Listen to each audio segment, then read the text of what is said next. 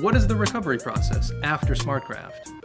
Because there are no sutures, there is minimal recovery time. In the donor area, tiny round extractions are generally not visible after about 2 to 3 days' time. In the implanted area, some initial redness and swelling is gone after about the same amount of time. Hair can be washed at that time, and there is no wound care needed. Hair grows naturally over the period of months. Because the grafts will be in varying phases, hair growth will develop over a period of a few months and be complete in about 9 months to a year.